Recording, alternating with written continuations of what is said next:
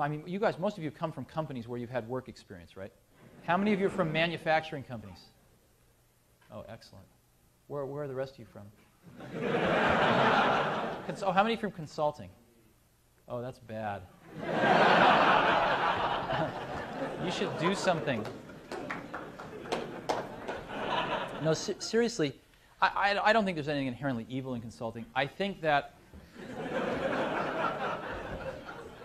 I think that without without owning something uh, over an extended period of time, like a few years, where one has a chance to take responsibility for one's recommendations, where one has to see one's recommendations through all action stages and accumulate scar tissue for the mistakes and pick oneself up off the ground and dust oneself off, uh, one learns a fraction uh, of what one can. What, you're, you're coming in and making recommendations and not owning the results, not owning the implementation, um, I think is, is uh, a fraction of the, of the value and a fraction of the opportunity to learn and get better.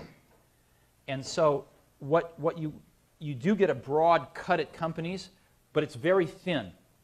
It's like a picture of a, I, would, I could use, I'm a vegetarian, so I won't use steak, but it's like a picture of a, of a banana.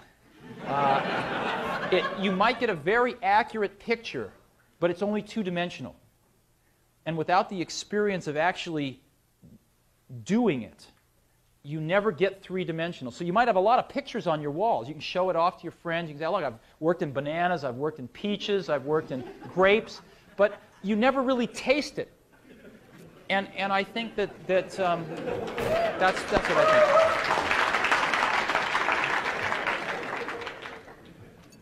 think.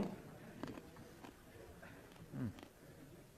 Uh, you're also a variable expense, and in hard times you find yourself